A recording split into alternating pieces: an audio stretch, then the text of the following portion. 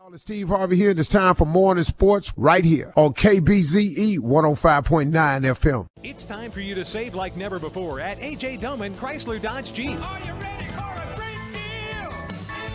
A money saving party. We got new and used car, trucks, and vans. We'll get you kick started. Yeah, our service and selection are out of sight. Come deal with us, we're gonna treat you right.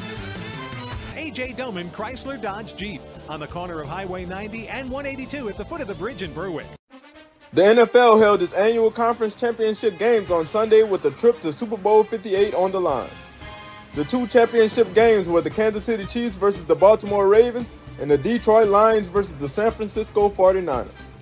The first game, the Chiefs versus the Ravens, was highly anticipated all week.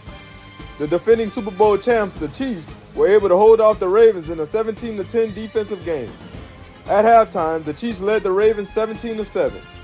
The Ravens were able to hold the Chiefs scoreless in the second half, but were only able to get three points after costly penalties and miscues. The Chiefs head to the Super Bowl for the fourth time in five years.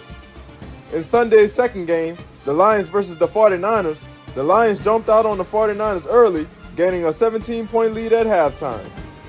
After halftime, the 49ers made a remarkable comeback.